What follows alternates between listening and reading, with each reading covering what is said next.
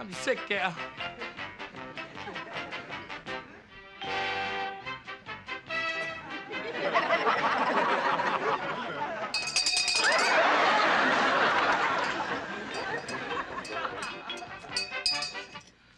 What do you think you're doing? I was trying to get your attention. I'm sorry about the bell, but I didn't know where my baseball bat was at. I'm afraid you're sick, and you're supposed to be upstairs resting. I already called the doctor's office. Is he coming? Well, I didn't actually talk to the doctor, but I talked to his nurse, and she said she'd give him the message. That's the way it always is. You call a doctor, you get an answer service. But you call a mortician, they're always sitting there by the phone. Hello.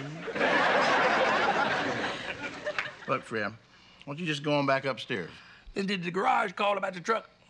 I ain't heard a word yet. Oh. Hey, you still trying to catch that rat? Yeah, he's a slippery little devil. Ah.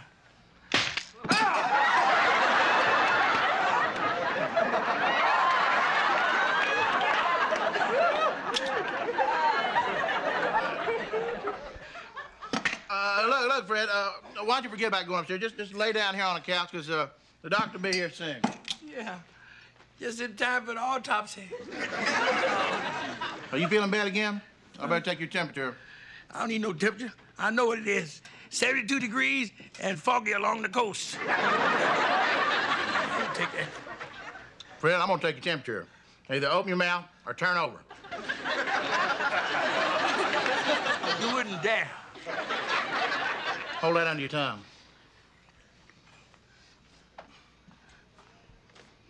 You feeling okay? Well, wait a minute. Well, no. Are you warming up?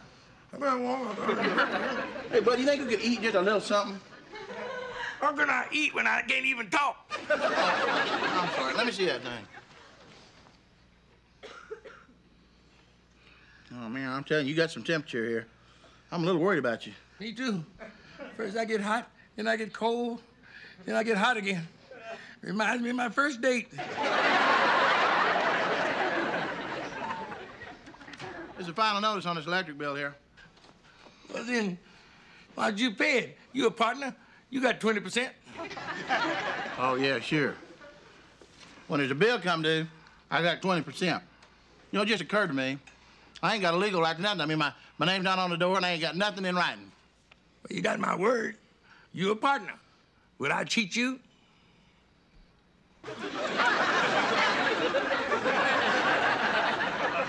well, You wouldn't cheat me intentionally. all right then. Now, look, Fred, I don't mean to be insensitive or, or unfeeling, but, man, you could croak. I got no proof. Okay, that's what you want proof? You ain't mad. No, I ain't mad. Why should I be mad? How do you spell white rhino? You don't have to do it right this minute. Well, here it is, right this minute. I sold Cal Pettie 20% of my business for a measly $2,000. if I die, I leave him his share of the business and a one-way ticket to Iran. Now you satisfied, you blood-sucking vulture? Waiting around for me to die. Fred, it ain't like that at all. I mean, I ain't waiting around for you to die. Then why you circling the couch? I know how Howard Hughes felt. Only difference between me and him, his fingernails were longer than mine. Fred, you're sicker than I thought you were. You better get on back upstairs. Listen, you don't push me around. Look, Fred, just get up there. No, don't do that. Don't do that. That's a lethal weapon. I mean, I could have you arrested for assault and blubbery. Get on up upstairs.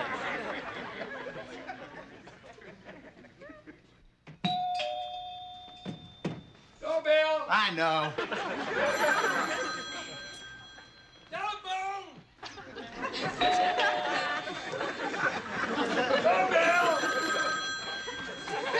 Come on in, Doc. Hey, look, Doc. The patient is upstairs, but watch out because he's in a biting mood today. Thanks. Yeah. Oh, hello. Yeah. Here's Cal. Oh, yeah. Uh, how much is it going to cost to fix a truck? What do you mean, am I sitting down? Well, Mr. Sanford, how are we feeling today? We sick. Nonsense. Oh, it's probably just a touch of the flu. I wouldn't worry about it. Of course, you wouldn't worry about it. You ain't got it. Well, let's just see what's going on down there, huh? Now, open up real wide. Ah, Wider. ah, Wider. ah. Wider. Minute, Doc. My jaw ain't on no hinge. Listen, you look at the end, I'm gonna jump in. Hey, you seem to have a little redness in your throat. And you seem to have a little badness in your breath.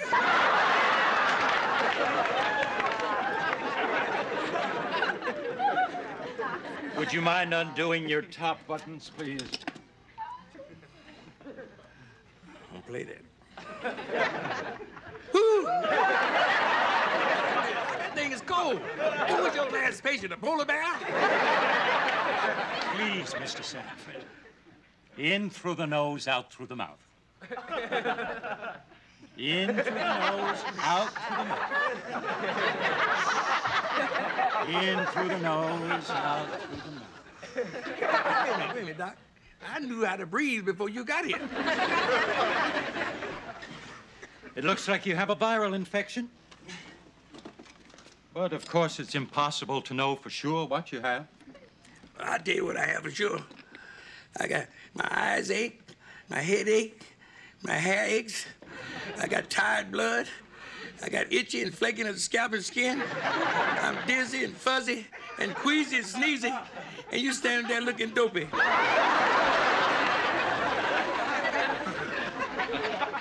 Well, I don't know. If the truck's gonna be that much, I better talk to my partner. Yeah, I'll get back to you. Yeah, adios. Hey, Doc, how's Freya? Well, he's got a virus. I'll give you some medication for him. You don't look so good yourself. Oh, I just, uh, I got off the phone with my mechanic. You know, Fred's old truck is so bad they want to shoot it. Pretty bad, huh? Yeah. Well, you know, the body's falling apart and it's all worn out. Cal, in my experience, once the body goes, it's the beginning of the end. I just don't know what to do. Cal, sometimes you've got to be ruthless. You want my advice? Well, you're the doctor. Get rid of the old wreck.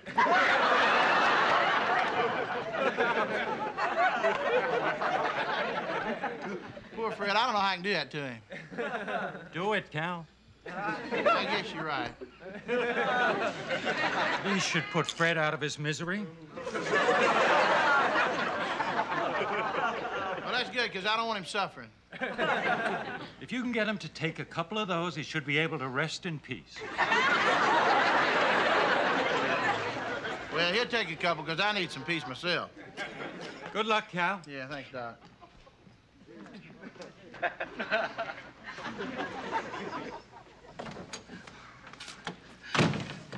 Trying to get rid of me. What should I do? Hey, Fred! The doctor's gone. You want anything? I want to live.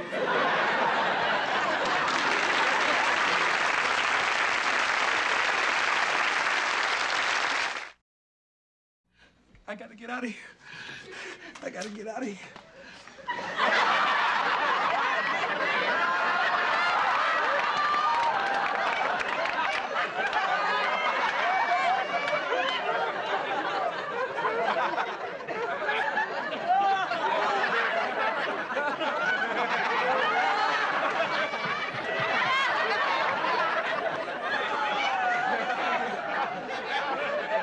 I gotta get out of here.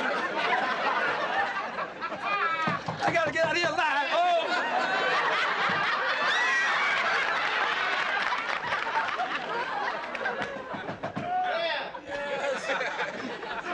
Hey, Fred. The doctor left these pills. He said it relieve your suffering. I don't think I need them.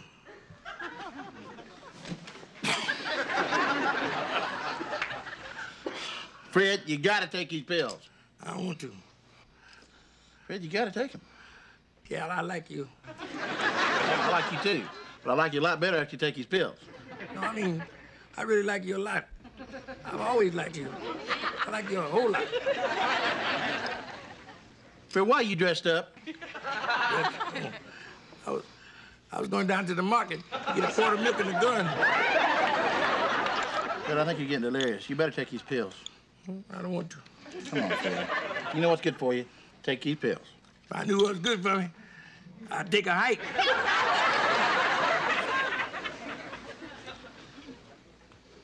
Yeah. Now, you want your lunch? Yeah, please go get my lunch. Okay.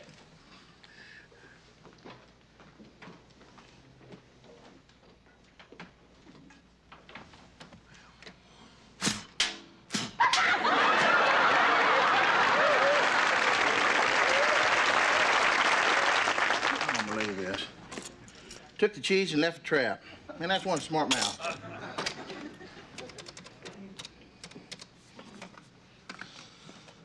Hey, Ernie. Hey, yeah, it's uh, Big Cal over Sanford's. Hey, listen, buddy, uh, our truck's in the shop, and uh, I need some rat poison. I wonder if you could send some over.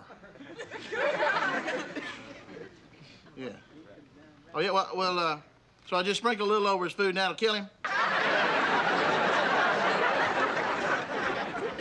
how much will it take? Huh. Oh, so just a pinch will kill a horse?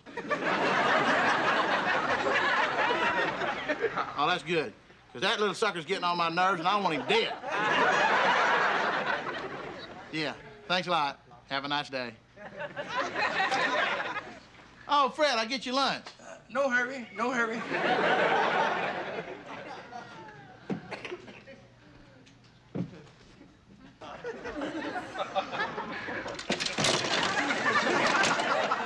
Fred, Yes. where you going? Uh, nowhere, killer. I mean, Keller. I mean, Keller. Fred, you delirious. You better sit down over here on the couch and have your lunch. Sit right there. There you go. Yeah, those, those are nice wreaths. I mean, roses. nice touch. Door. I get it.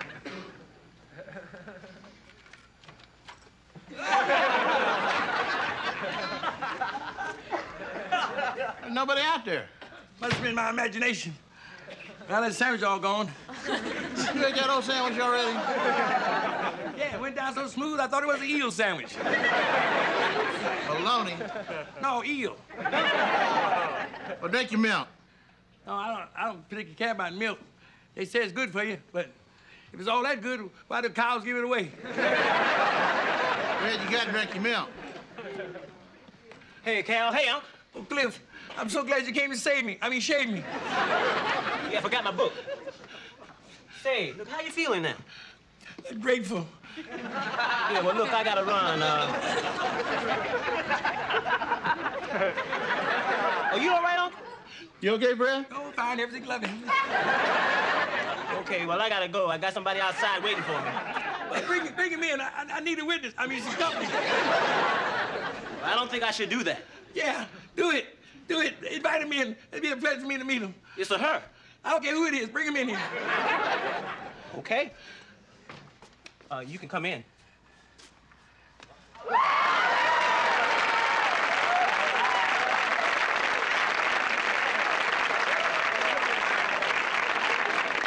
Esther! Lord have mercy. this house is still full of evil. What are you doing here? Praise the Lord. I'm here for a religious convention. Hallelujah. Oh, come on, Mom. We better go. No, stay. I wouldn't be caught dead in here. That's exactly how I feel. I knew you wouldn't want me here, so I got a room at a hotel. That's not gonna let my favorite relative stay at a hotel. Lord have mercy. This fool is sick for real.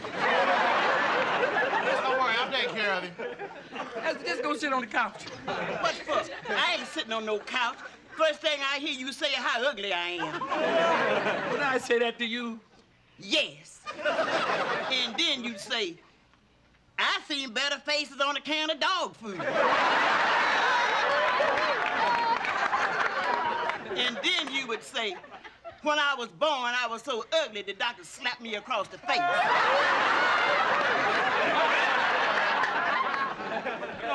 wouldn't say that to you. You're beautiful. What, what, what a face. What a figure. I know that one. Two more legs and I look like Trigger.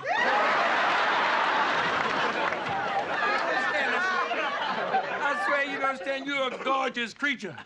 Now he calling me a creature. Come on, son, let's get out of this hellhole. Don't leave me. Don't leave me. Listen, Don't leave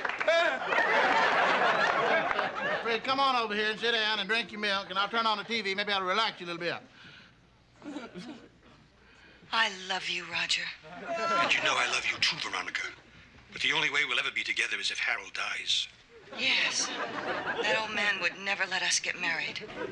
Yes, I would. I mean, it's okay with me. You got my blessings. We could poison him. No. Let's smother him with a pillow while he's sleeping. Perfect. Then dig a hole in the backyard and bury him. Fred's gonna be okay, because I got a little yard work to do.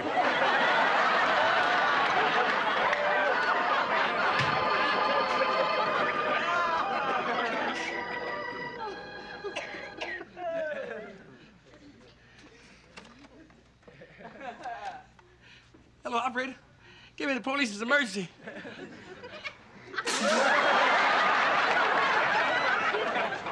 hello, operator. It's the police. Oh, hello, police. Listen, listen. Uh, uh, I- I I will report a murder. Mine. Yeah. The killer's out the yard now digging a hole. Key 7, 9114 South Central. Hurry. Because if you don't hurry, I'm gonna have the lumpiest yard in this neighborhood. I can you? Well, I don't have to take that from you. So you don't talk to me that way. Nobody talk to me that way. You forget that. Goodbye. What's that all about? I've seen phone calls. I didn't hear the phone ring. Uh, I called her. Fred, you're acting like you've been smoking wacky tobacco. Now drink your milk. You drinking? Fred, what's the matter with you? Don't you come near me. Fred, you ain't acting like yourself. I'm not. Who, who I'm acting like? I'll go find him. Now, look, Fred, what's the matter with you? Police? Hey, Fred, Cal, it's off. You open up. It's the police. Huh? I wonder what they want. Uh, shall we check? Help! Save me! Help! Save me!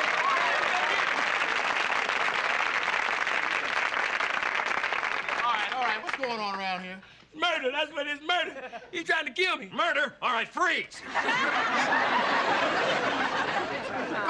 Calm down before you shoot yourself in the foot again. You said you weren't going to mention that to anybody. Oh, Fred, what kind of joke is this? Cal's no murderer. You, what are you talking about? He put poison in that milk and tried to get me to drink it. Poison? You put poison in that milk? What do you got to say for yourself, Pettie? What I got to say? Don't drink that. It's poison. You'll die.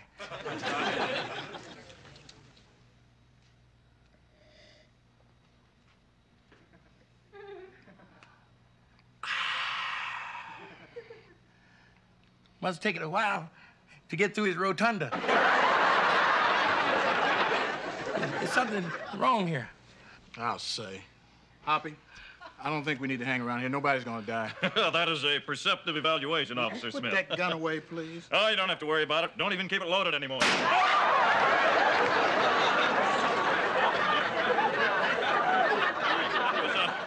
Uh, that was, that was just a warning. It was a warning. Yeah, okay. Fred, Cal, we'll see you. Uh, early, Daddy, early. That's later, baby. Oh, later, baby, right.